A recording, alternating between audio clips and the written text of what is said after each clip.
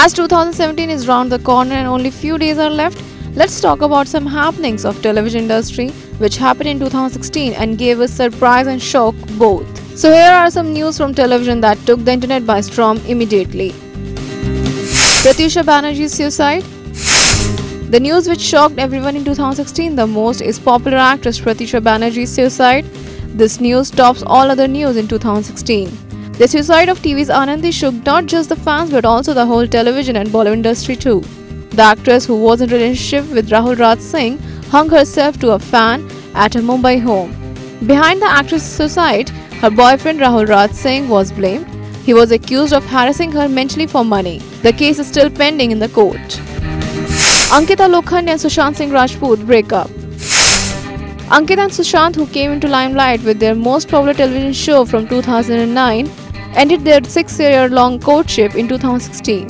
Early in January 2016, Sushant announced his marriage with Ankita that by the end of 2016 he would tie the knot with her. But their relationship took another U-turn and the duo ended their relationship by the end of the year. Now let's say the two who was known as the best looking couple on TV, what will get in 2017 for our audience. Divyanka Tripathi and Vivek Dahiya's marriage. Actress Divyanka Tripathi, who is loved by the audience a lot and getting applause for her character in the show, got engaged with her co-star Vivek Dahiya in a quiet ceremony in Chandigarh on January 15, 2016. The two co-stars who practically didn't confess their relationship earlier definitely let their fans surprised with their sudden engagement on Jan 15th. After that, not to take so much time, the much hyped wedding finally took place on 8th July, which was a lavish one and took place in Bhopal, in Divyanka's hometown. Now the duo enjoying their honeymoon time in Europe. Shweta Tiwari turned mommy of baby boy.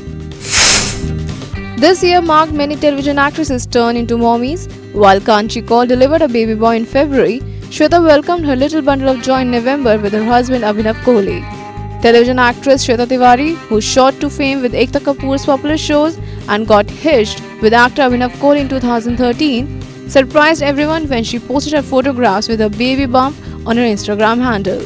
Well, she's already a darling mother of a beautiful teenage daughter, Palak, from a previous marriage.